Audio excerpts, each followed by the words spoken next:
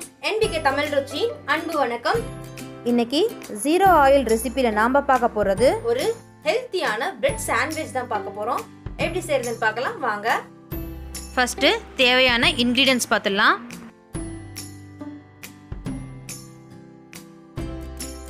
அதுக்கு நான் இன்னைக்கு நாலு பிரெட் எடுத்து வச்சிருக்கேன்.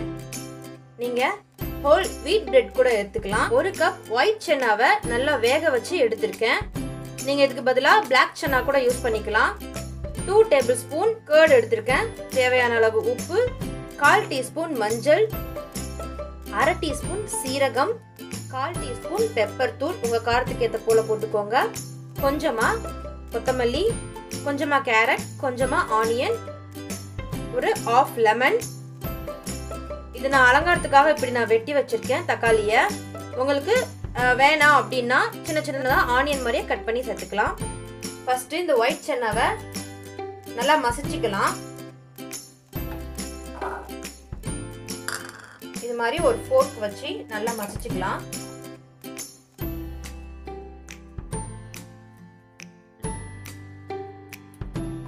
சென்னா நல்லா சூடாக இருக்கும் போதே மசிச்சுக்கோங்க. அப்பதான் டக்குன்னு மசியே வரும்.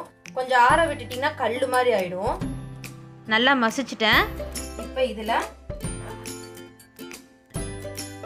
அரை டீஸ்பூன் சீரக பொடி கால் டீஸ்பூன் பெப்பர் பொடி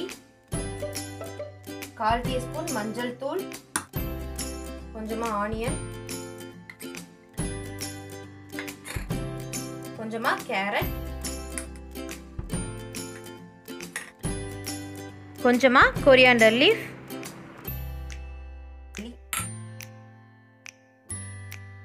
ரெண்டு டேபிள் ஸ்பூன் கேர்டு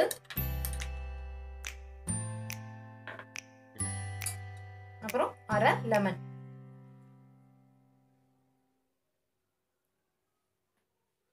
இதையெல்லாம் நல்லா மிக்ஸ் பண்ணிக்கலாம்.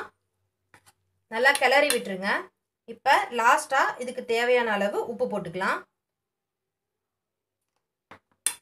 உப்பு ஃபஸ்ட்டே போட்டிங்கன்னா தண்ணி மாதிரி ஆகிடும் அதனால் லாஸ்ட்டாக போடுறேன். இது அப்படியே இருக்கட்டும். ப்ரெட்டை வந்து டோஸ்ட் பண்ணி எடுத்துக்கலாம். இப்போ ப்ரெட்டை டோஸ்ட் பண்ணி எடுத்துக்கலாம். ப்ரெட்டை டோஸ்ட் பண்ணி எடுக்கும்போது கூட ஆயிலோ பட்டரோ எதுவும் தேவையில்லை. நீங்கள் நார்மல் ப்ரெட் யூஸ் பண்ணிக்கலாம். இல்லை வீட் ப்ரெட் கூட யூஸ் பண்ணிக்கலாம். இல்லை மல்டிக்ரெயின் பிரெட் கூட யூஸ் பண்ணிக்கலாம். நல்லா கிறிஸ்பியாக ஆகிற வரைக்கும் ரெண்டு சைடும் டோஸ்ட் பண்ணி எடுத்துக்கலாம். நல்லா ரெண்டு சைடும் டோஸ்ட் பண்ணி எடுத்துட்டேன். ப்ரெட் மேலே. டொமேட்டோ வச்சிடலாம். இதெல்லாம் உங்களுக்கு ஆப்ஷனல் தான். அதுக்கு மேலே நாம் செஞ்சு வச்சுருந்த மசாலாவை ஃபில் பண்ணிக்கணும். உங்களுக்கு இஷ்டப்படி ஒரு ஸ்பூனோ ரெண்டு ஸ்பூனோ எவ்வளோ வேணால் ஃபில் பண்ணிக்கலாம். இன்றைக்கி நான் நான் ஒரு ரெண்டு ஸ்பூன் வரைக்கும் ஃபில் பண்ணுறேன்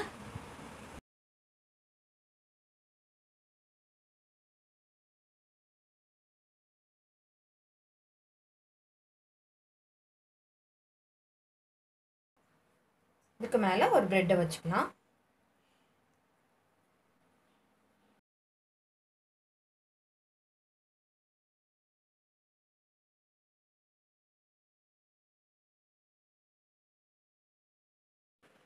கொஞ்சம் கூட ஆயில் இல்லாமல் நம்ம சிக் பீஸ் சாண்ட்விச் ரெடி ஆகிடுச்சு இதை நீங்கள் மார்னிங் பிரேக்ஃபாஸ்ட்டாக கூட சாப்பிட்டுக்கலாம். இது ஒரு புரோட்டீன் ரெசிபியும் கூட. இது நீங்கள் குழந்தைகளுக்கு கூட கொடுக்கலாம். விரும்பி சாப்பிடுவாங்க. இந்த ரெசிபி உங்களுக்கு பிடிச்சிருந்தா வீட்டில் செஞ்சு சாப்பிட்டு ஹெல்த்தியாக இருங்க. இந்த வீடியோ உங்களுக்கு பிடிச்சிருந்தா லைக் பண்ணுங்கள் ஷேர் பண்ணுங்கள் மறக்காமல் நம்ம சேனலுக்கு சப்ஸ்கிரைப் பண்ணுங்கள் இன்னும் ஒரு நல்ல ஆயில் ஃப்ரீ ரெசிபியோடு உங்களை நான் சந்திக்கிறேன். அதுவரை நன்றி வணக்கம்.